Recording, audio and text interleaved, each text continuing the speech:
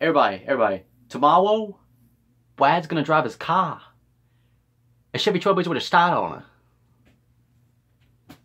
Is it not? Is it that hard to say? Tomorrow, Brad is gonna drive his car.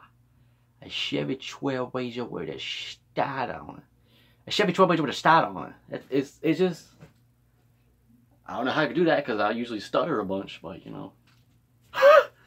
anyway, see you later. Peace.